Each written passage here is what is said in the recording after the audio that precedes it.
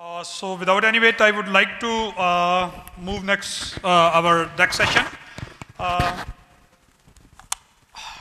our next speaker is Mr. Syed Shahab Ahmed, Chief uh, Digitalization Officer, Oil and Gas, gas Sector. So Shahab is a very um, talented person serving the IT from last few years. He has been uh, the uh, research faculty into the IBA and have been uh, successfully published his success stories in 2014, 17 and 2020 as well. So the topic for the Shahab is today for is that the cloud-based analytics, the BI, the AI, the trend analysis, everything, the data-driven decisions. So without any uh, wait, I would like to call uh, Mr. Sayyid Shahab onto the stage. Please come on and present your ideas. So uh, thank you so much, uh, Akbar Akil's Cap Talks for inviting me uh, all the way from Karachi for this specific session.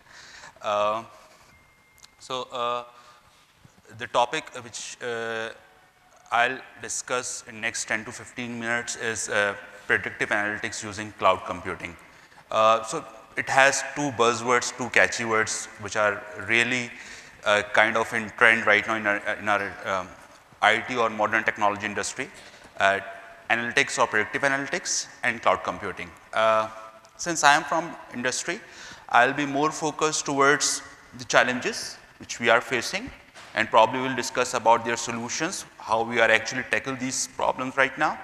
And uh, uh, I'll, I'll, try to focus on the practical scenarios which are actually happening in our Pakistan's IT landscape.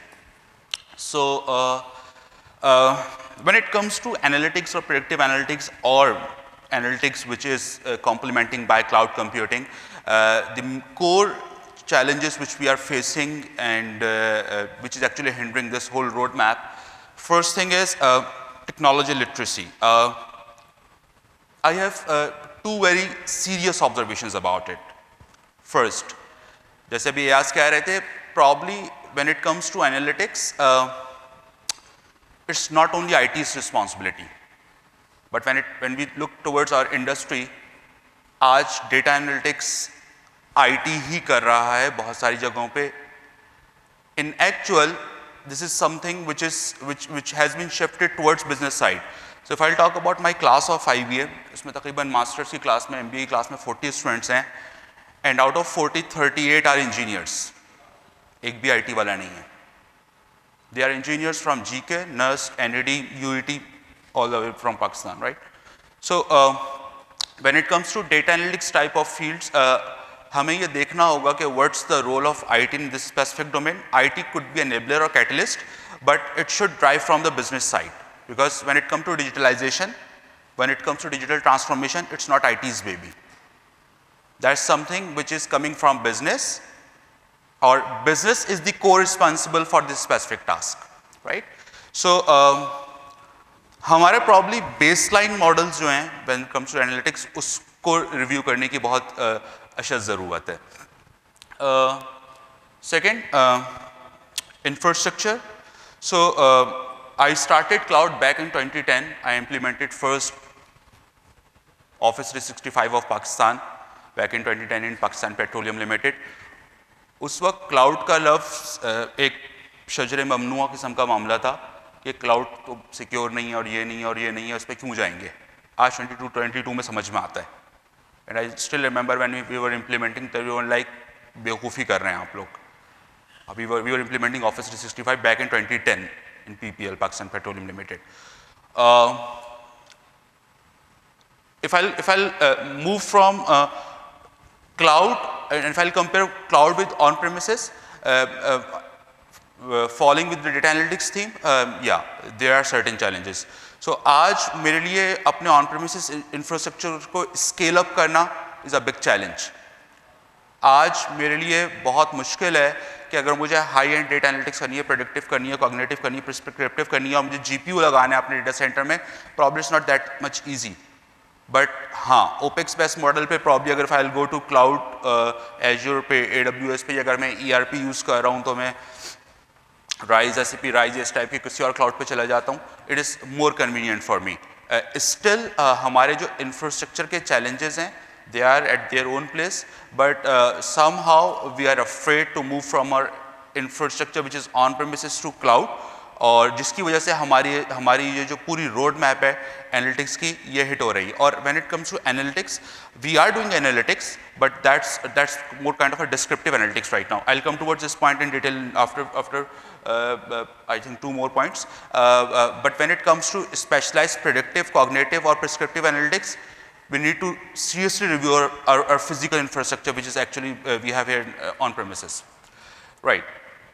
Then inaccessible data so आज हम जितनी भी data analytics कर रहे हैं probably वो cooperate या enterprise data sets ही कर रहे हैं। Are we thinking about our plant data refinery data are we thinking about our O T based data no आज हमारी मेजोरिटी जो इंडस्ट्री एनालिटिक्स है इट्स मोर टुवर्ड्स के वेयर हाउस में क्या है इट्स मोर टुवर्ड्स के फर्टेन सर्टेन ई आर पी में क्या है सर्टेन सी आर एम में क्या है, उससे डेटा एक्सट्रैक्ट करें और निकाल लें।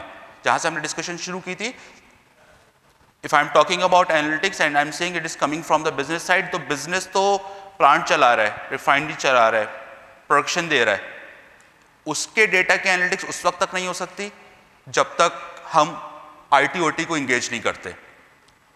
और मेजॉरिटी ऑर्गेनाइजेशन की जब हम बात करते हैं स्टिल आईटी ओटी के बीच में काफ़ी गैप है। हमारे नेटवर्क तक आपस में बात नहीं करते, क्योंकि साइबर अटैक हो जाएगा।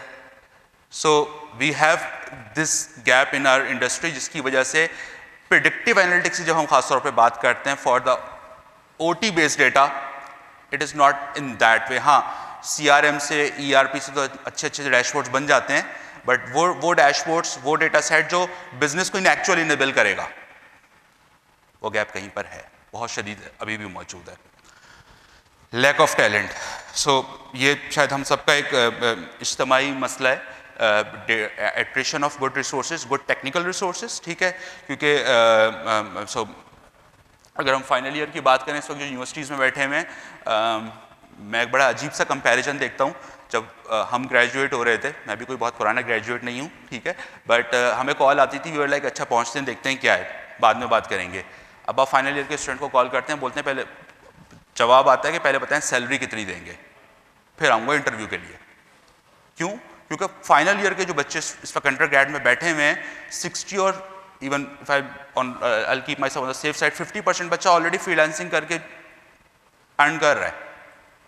जब वो इंडस्ट्री में आता है इंडस्ट्री उसको वही टिपिकल पचास, साठ, सत्तर, अस्सी, बहुत ही लिया नाइन्टी और हंड्रेड के दे देती है तो उसके लिए इस वक्त को कुछ भी नहीं है।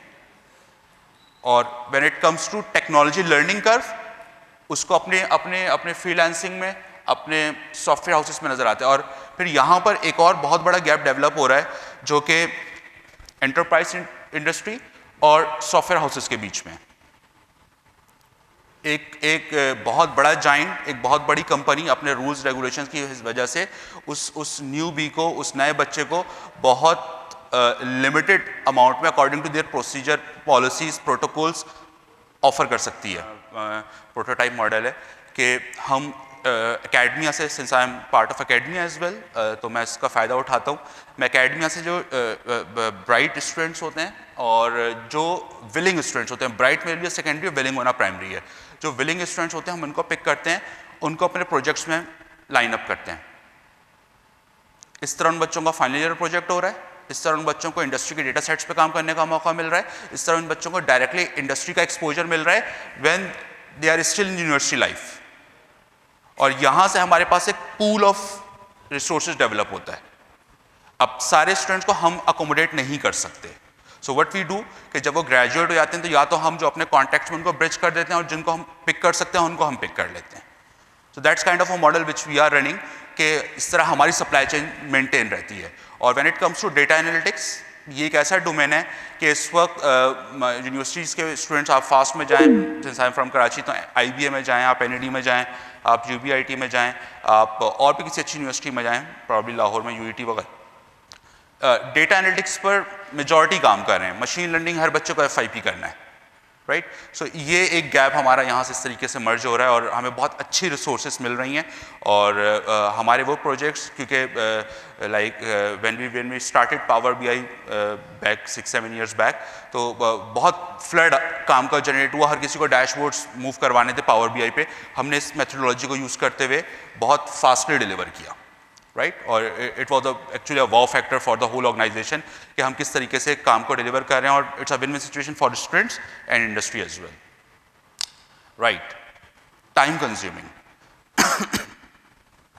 आज when it comes to again data analytics इसको मैं मैं लिंक करूँगा uh, हमारी इंडस्ट्री के एप्लीकेशन डेवलपमेंट के लर्निंग कर्व के साथ.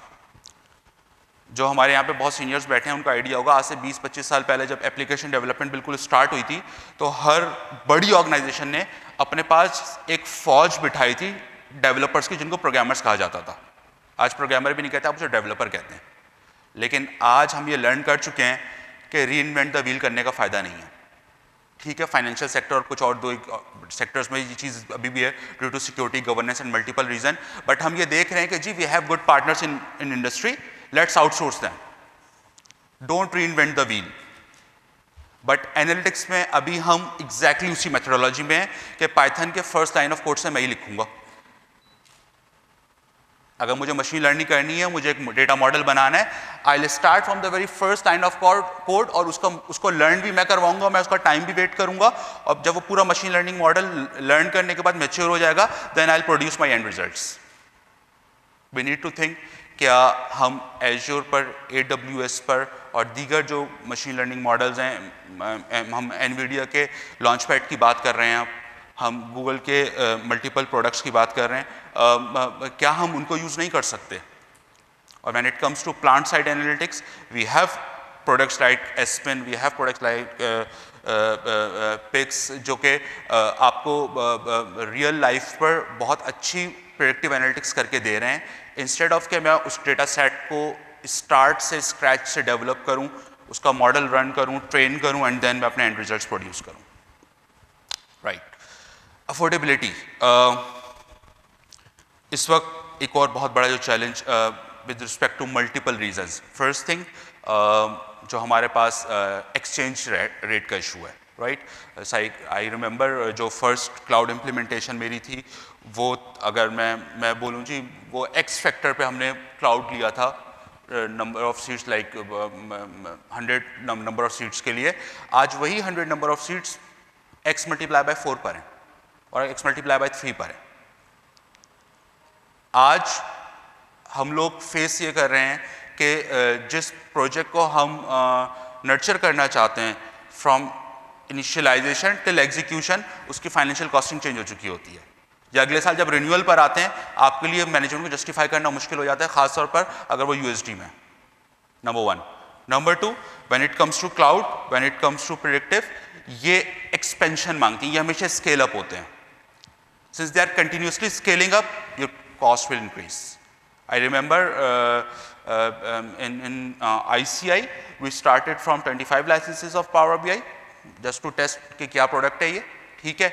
और उसके बाद within year I think we ended up around hundred licences और अब उससे भी बात आगे चली गई ठीक है?